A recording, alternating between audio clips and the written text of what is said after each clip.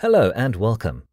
Once again, we'll listen to British commentator Matt Goodwin, this time on the reasons behind populism's surge. Let's hear it. So, what is driving national populist parties forward? I think there are four things. The first is a palpable sense of distrust distrust with the mainstream political parties, distrust with the political institutions, which, to be frank, have been built around the interests of a graduate urban minority. If you look at Western democracies today, some academics call them diploma democracies because they're really dominated by a minority university educated elite that's been shaping those systems around their values, around their interests, around their priorities. And I think that's really a big part of what's going on because if you look at the experts and elites today, they've often presided over a long line of failures. Think about the great financial crash, the failure to, to regulate financial services. Think about the forever wars in Afghanistan, Iraq, Syria, and elsewhere, a long line of foreign policy disasters. Think about mass migration, the failure to secure the borders, the failure to curb radical Islamist terrorism, the failure to integrate newcomers into our wider society. So I think distrust, often anchored in legitimate grievances, is really important. I think it goes hand in hand with a second thing, fears over the destruction of our national communities, our nation states, our ways of life. And I think these, these fears are really palpable. Many people in the West today, when they're looking at things like the southern border in the United States, small boats crisis in the English Channel, they're looking at what's happening to Italy with migration from Northern Africa, and they're looking at what's happening in some of those estates on the outskirts of Paris in France, they're asking themselves actually, not just can we absorb record levels of migration? Can we absorb the refugee crisis?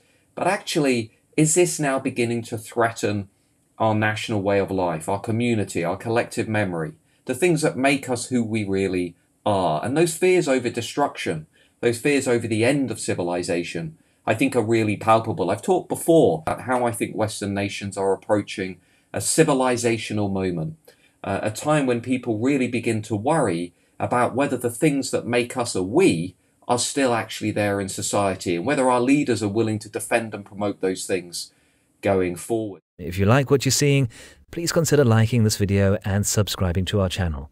A few clicks can make all the difference to us and help the channel grow. Also, we recently crossed the 1,000 subscribers mark. To you, our subscribers, we'd like to say thank you. We hope to provide you with a lot more and better going forward. And the third set of concerns, I think, relates to this notion of what academics call relative deprivation. I'm not worried that I'm being left behind.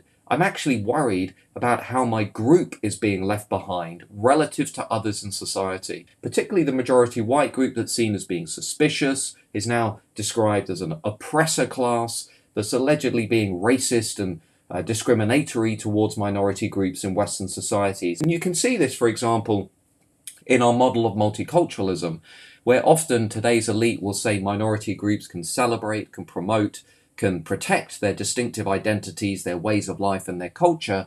But when they talk to the majority group, they'll say, well, you know, actually, your identity, your history, your values, they must be reshaped around these universal liberal themes like diversity, multiculturalism, uh, or in fact, people are told that they should be ashamed of those identities and values, that there's something wrong with them, that Western nations were racist, uh, were prejudiced, are institutionally uh, discriminatory towards minority groups. And so there's an imbalance in how people's identities are talked about among the elite. And lastly, you know, if you look across the West today, what I think we've entered into is what political scientists would call an era of de-alignment, an era in which the old bonds between the big parties and voters are now breaking down. You know, we're not in the 1960s, 70s, and 80s anymore. The golden age of representative democracy is completely over. So, what we have instead is a much more volatile political environment.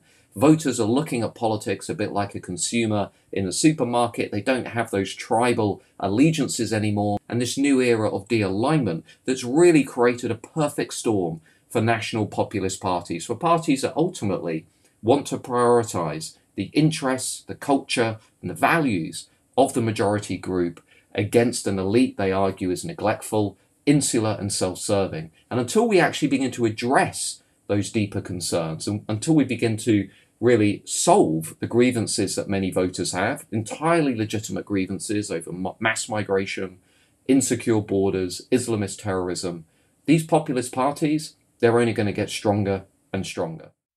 Distrust of mainstream political parties and institutions, destruction of community, relative deprivation, the sense that one's own group is being left behind, political de-alignment, the end of party loyalty. All of these are legitimate concerns, and none of them seem to be addressed. That itself is a symptom of a clear divide between the elites and the people. This divide was detailed in another video that we made.